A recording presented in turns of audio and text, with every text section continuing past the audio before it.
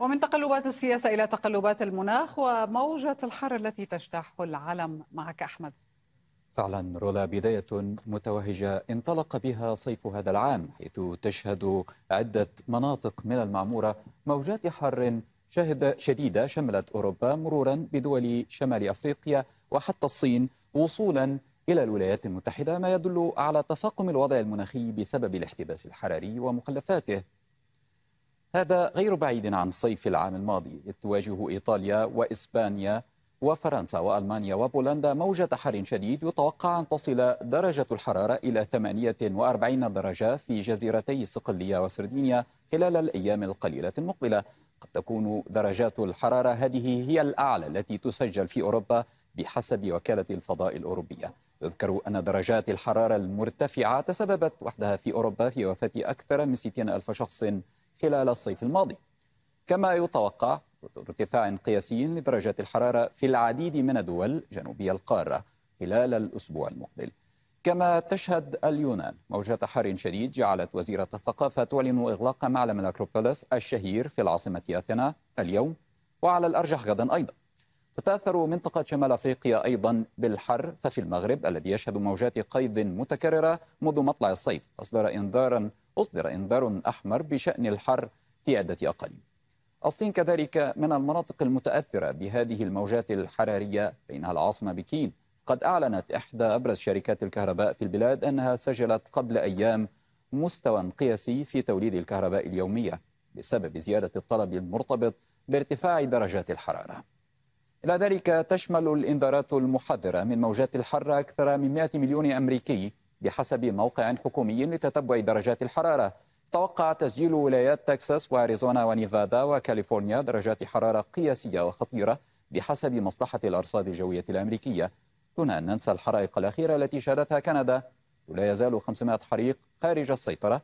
بما في ذلك ما تسبب في تلوث قوي للهواء في شمال شرق الولايات المتحدة خلال يونيو الماضي. على الصعيد العالمي كان الشهر المنصرم الأشد حرارة على الإطلاق. بحسب وكالة كوبرنيكوس الأوروبية ووكالتي ناسا ونوال الأمريكيتين كذلك كان الأسبوع الأول من هذا الشهر الأشد حرارة بحسب بيانات أولية من المنظمة العالمية للأرصاد الجوية. للمزيد من القراءة في هذه الأرقام وما فيها ينضم إلينا دكتور بدوي روبان مستشار الأمم المتحدة لأثار تغير المناخ والكوارث الطبيعية. أهلا ومرحبا بك معنا دكتور. هذه التحذيرات تتحول الآن إلى تأثير اقتصادي واضح على السياحة في مناطق مختلفة إلى أي مدى تتوقع أن يغير ذلك استجابة الدول؟ إن بعض الدول آه، كانت قد توقعت آه، منذ الربيع الماضي بأن يكون هذا الصيف في معظم الدول صيفا استثنائيا لنذكر أن على سبيل المثال بدأت الحرائق وارتفاع الحرارة وموجات الحر في كندا منذ أوائل شهر يونيو الماضي وامتدت أيضا الحرائق ودخان الحرائق وصل إلى مدينة نيويورك بسبب هذه الحرائق. كذلك سيبيريا وصلت الحرارة فيها الشهر الماضي إلى 45 درجة وفي إيران وصلت إلى 54 درجة. إذا هذه الموجات الحر هي ليست كثيرا مفاجئة ولكن أتت لكي تجعل الدول مدركة على أنها يجب من الآن وصاعدا أن يكون عندها استعداد وجهوزية أكثر. وإن هذه الموجات موجات الحر ربما سوف تدوم معنا بعض الأيام. نعم. في الشرق الأوسط في شمال أفريقيا وهنا أيضا في أوروبا كذلك في الصين. إن تغير المناخ والاحتباس الحراري الذي هو يغير المناخ منذ عقود منذ سنوات هذا أصبح حتمية واقعة. ونضيف إلى ذلك هذا الموسم نضيف إلى ذلك أن ظاهرة النينيو التي هي ظاهرة طبيعية بدأت الأسبوع الماضي. وهذه الظاهرة الطبيعية سوف تدوم لمدة سنة أو سنتين وتبلغ ذروتها في أواخر هذا العام في ديسمبر.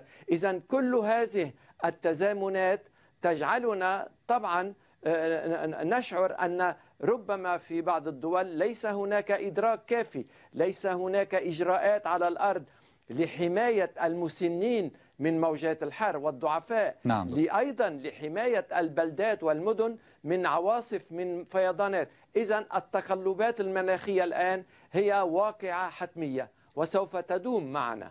لكن دكتور حتى بعض الدول التي لديها هذا الإدراك تكتفي بالتحذير وكأنها ليست هي الملوثة. وحديثنا عن الدول الغربية التي تتهم بأنها الملوث الأكبر تكتفي بإطلاق تحذيرات. هل ما تقوم به يوازي ما تؤثر به في المناخ؟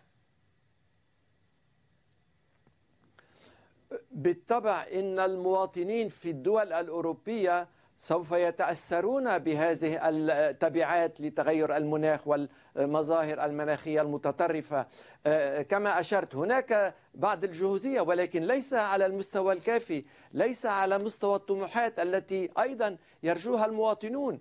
إن مثلا هنا في فرنسا في إسبانيا في إيطاليا إن مراكز الإسعاف ربما لن تستطيع أن تستجيب إلى كل ما يمكن أن تسببه موجات الحر.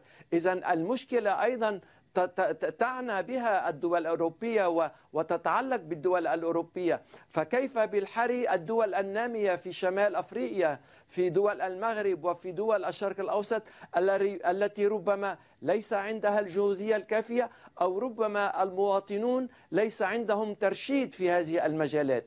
يتطلب الأمر الآن إرادة سياسية ولكن ترجمة على الأرض آه، جعل المواطنين مدركين جعلهم يعلمون كيف التعامل مع موجات الحر كيف التكيف كيف حماية المدن كيف ربما خلق من الآن وصاعدا مساحات نباتية تبرد الأجواء. هذا لا يمكن أن يحصل بين ليلة وضحاها. لا يمكن أن نبقى نستجيب نعم للأمر دكتور. بدل من استباك المشكلة. أشكرك دكتور يجب استباك المشكلة والاستعداد لها. الأمم المتحدة لأثار تغير المناخ والكوارث الطبيعية. شكرا جزيلا لك.